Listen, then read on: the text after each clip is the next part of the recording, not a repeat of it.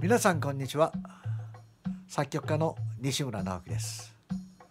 今日も西村ピアノアカデミーからお送りしています。今日2019年4月の10日水曜日。今日の通販の言葉は目に見えないものこそが大切。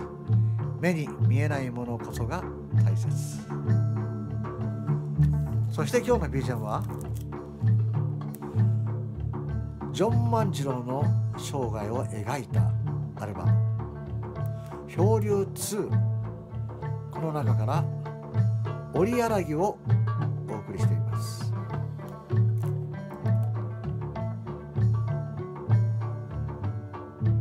この「折柳」演奏しているのはハムザ・エルディン。アソワンハイダムに、えー、自分のふるさとが沈んでしまったという、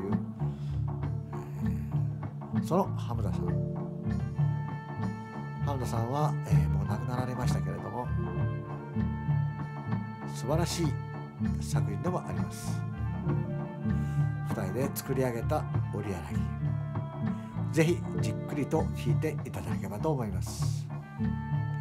それでは今日一日が皆様にとって素晴らしい一日でありますように。